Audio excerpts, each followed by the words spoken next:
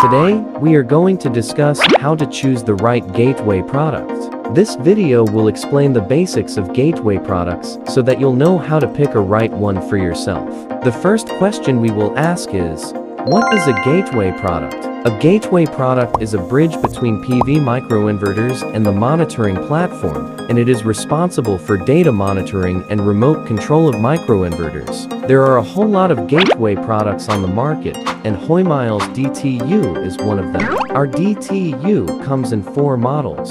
DTU Lite, DTU Lite S, DTU Pro, and DTU Pro S. So first step, how are these models different from one another?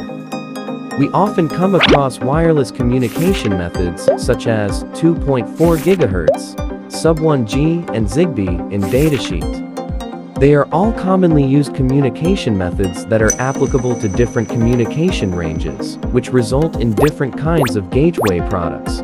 For example, DTU Pro and DTU Lite both adopt the 2.4 GHz communication method, while DTU Pro S adopts sub-1G. In terms of range, 2.4 GHz is the samiest Zigbee and less than sub-1G. So if you expect a relatively long distance between microinverters and the gateway product, then DTU Pro S which uses sub-1G is more suitable for you. The next step would be to clarify your installation environment.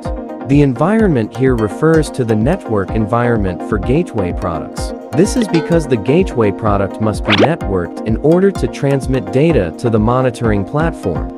Generally speaking, gateway products have three ways of networking, Wi-Fi, 4G and Ethernet, so we will have different combinations.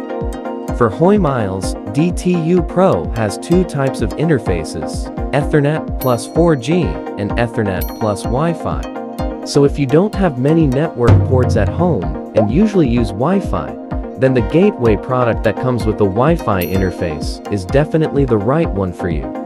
If the gateway products will be installed in non-residential settings, such as farms, 4G mode is the one you need.